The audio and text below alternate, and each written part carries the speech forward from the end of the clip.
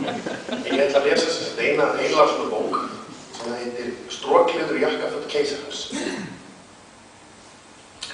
Eitt.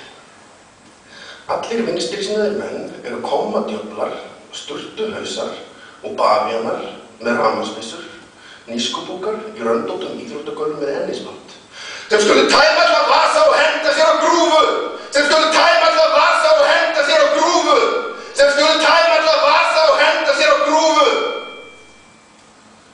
Tvö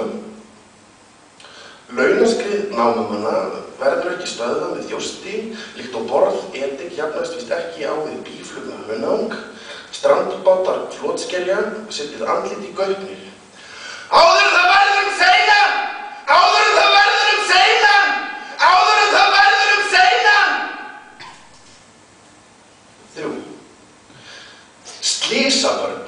Ég man ekki hvað ég heyrði það fyrst. Innan glasamótur, flúrlampa og göngugrindur að stjagsetning sé skömmskarri en kjöl dráttur.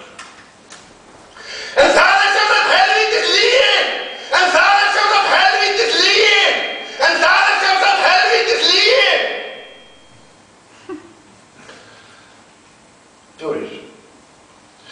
Stift andmenn með brjóstsíkus nef í hverjum koppi ofan í þótturákir kráka og vanglausra sjálfsmorða í bráðabana við heldri borgara á drykkjuknæpum.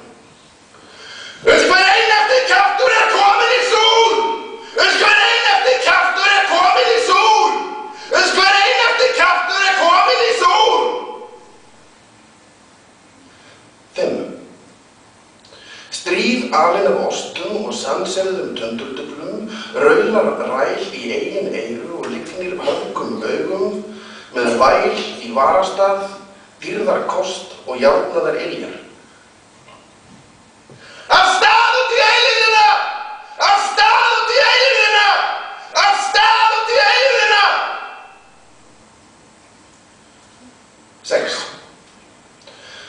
Djúpir varalitir sprengja heit og strengja kóralrifin, draga ísur fyrir skrópaveika og legusára sjúklinga, blása á nös og gefa í, gefa í til að ekki fara hýram fyrir bí.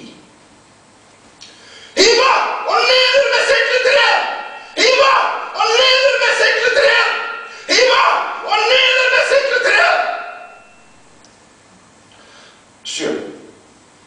Þetta er talar fyrir tómum sal, gefið mér samband við álfagóng í þess narasta, í valdastöðum víðast hvar eru stigamenn loftrættir. Og það brenna sólarljós á breiðum spjótum! Og það brenna sólarljós á breiðum spjótum! Og það brenna sólarljós á breiðum spjótum! Áttan. Til þerris hengilmænur, votar úr iljum sjávar, á fúnum þurrkjöllum tilfðra stjórnsýsluhúsa, það er skafreiningur og ekki dögg fyrir sólu.